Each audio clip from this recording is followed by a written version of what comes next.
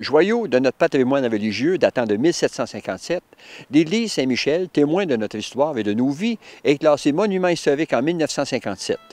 Offrons-nous le plaisir d'aller la visiter.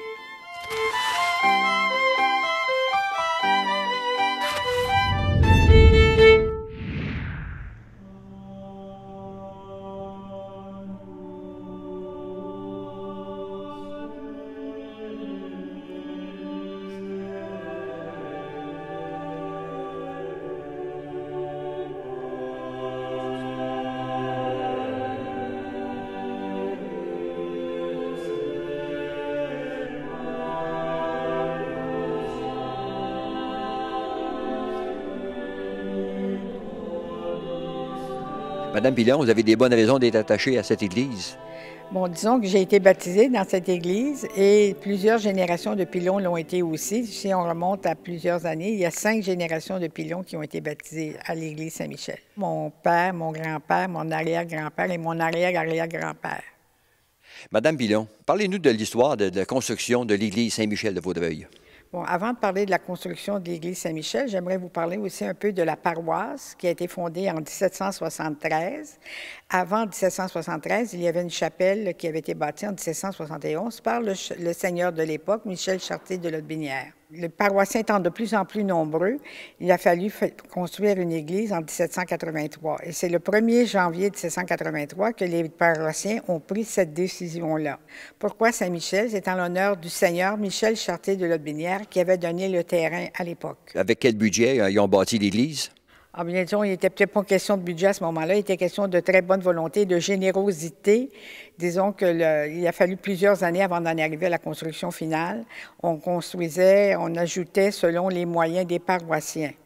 Alors, les paroissiens s'engageaient à fournir tout ce qu'il fallait pour construire l'église, la pierre, le bois, les ferments, les journées de trait. Même, ils s'engageaient à payer une somme d'argent pour combler les besoins de la construction.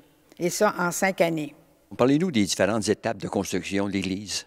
disons que la construction a débuté en 1784, au printemps. Alors, d'après le plan de l'abbé Confroy, qui est une, église en forme de croix latine, qu'on appelle le plan jésuite. S'il y a une, certaine différence avec d'autres églises, le chœur, au lieu d'être en hémicycle, est à pan coupé. Bon, la façade a été refaite entre 1856 et 1859 en, en pierre de taille pour mettre l'église au goût du jour. C'était à l'époque, euh, disons, l'église Notre-Dame venait d'être construite et elle était faite de pierre de taille. Le clocher a été reconstruit en 1870 à la suite d'un incendie qui avait détruit le, clocher initial. Alors, c'est un clocher à deux lanternes qui comporte trois cloches, Marie-Michel, Marie-Narcisse et Marie-Joseph, selon, d'après le nom des gens qui ont donné la cloche. Parlez-nous de l'intérieur de l'église. Quels sont les, attraits vraiment spéciaux? L'église est remarquable par ses sculptures, parce qu'il y a trois grands sculpteurs qui ont contribué à son décor, le Liébert, Quevillon et Achin. Liébert est un sculpteur français qui, a, qui était né à Nemours, en France. Il est arrivé au Canada et s'est lancé dans la sculpture de la décoration des églises. Alors, on lui doit l'hôtel principal, les hôtels latéraux. On lui doit aussi la chaire et aussi le chandelier pascal.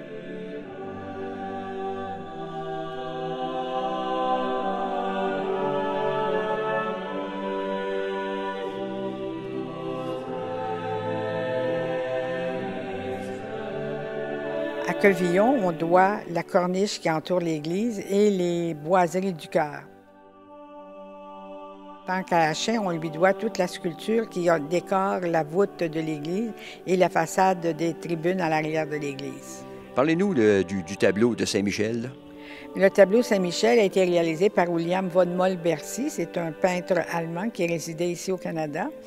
Ce tableau est très important dans l'œuvre du peintre. On a dû le prêter au Musée des beaux-arts d'Ottawa pour une exposition et ce tableau a été restauré à ce moment-là.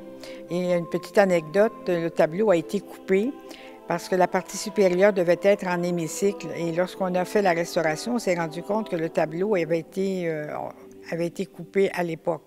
Alors on se demande euh, par qui? On suppose que ce serait le peintre Meloche. Madame Pilon, parlez-nous des, peintures de la voûte. Bon, les peintures de la voûte euh, sont l'œuvre de François-Xavier Meloche dans un style qu'on appelle le style trompe-l'œil, parce qu'il donne l'illusion d'une profondeur. Alors, la peinture utilisée, c'était de la peinture délayée dans de la cire d'abeille. Et à propos de la grande orgue ici? Mon c'est un orgue Mitchell qui a été acheté en 1871. Il avait été installé initialement dans le transept gauche et déménagé en 1883 à l'emplacement actuel. C'est un orgue à 20 jeux à traction mécanique. À travers le temps, on a vu euh, défiler différents personnages ici. Oui, en effet, on pourrait parler de Esther Blondin, qui est devenue Mère Marianne, qui a été la fondatrice de la communauté des Sœurs de Sainte-Anne. On peut parler aussi du chanoine Lionel Gros, un historien très important dans notre histoire.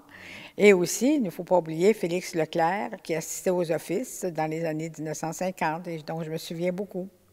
Le curé Janotte, je pense qu'il était euh, de beaucoup aussi pour la conservation de l'Église. Bon, le curé Janotte, qui est devenu chanoine, a été très important dans l'histoire de l'Église parce que c'est grâce à lui si l'Église a été classée monument historique. Madame Pilon, me suis laissé dire aussi qu'il y avait déjà eu des inhumations ici. Oui, sous l'Église, il y a plusieurs inhumations. Premièrement, sous la chapelle seigneuriale, vous avez plusieurs membres de la famille seigneuriale qui sont inhumés sous cette euh, chapelle. Et dans tout le sous-sol de l'Église, il y a en tout à peu près 350 inhumations. Est-ce que les gens peuvent venir aussi pour les visites guidées? Oui, pendant la saison estivale, nous avons toujours un programme étudiant pour organiser ces visites. Et durant l'année, sur réservation, on peut toujours organiser une visite. Madame Pilon, je vous remercie beaucoup pour votre collaboration, générosité. ça m'a fait plaisir. Merci.